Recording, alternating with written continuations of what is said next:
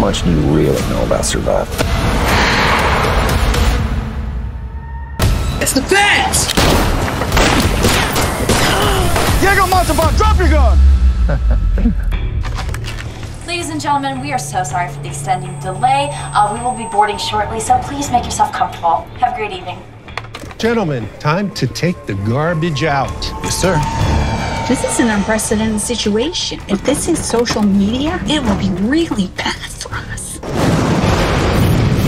got struck by lightning. How did you fly us into a storm? It came out of nowhere. Whoa, start going down.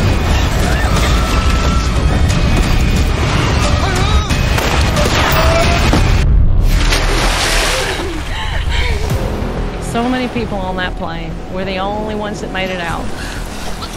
Why do I have to sue over this? I got makeup in my eyes. This is Puerto Rico? No, bro. Looks like we're on our own. All right, so what is the plan? We're gonna start surviving, okay? Maybe we can build a raft and try to get the hell out of here. And who put you in charge? Do you have a better plan? I think there's something out there. Y'all should run. So who are you people and what are you doing here? We were flying to Puerto Rico when the plane went down. Those damn things just took out half our group. Didn't take half your people. Not yet. How many more of those things are out there? There's enough. The triangle. It's real. Did you kill my ever? Boats, ships, and planes, they enter the Bermuda Triangle and boom, they're gone. We're pack hunters like wolves. Either we kill them all or we die.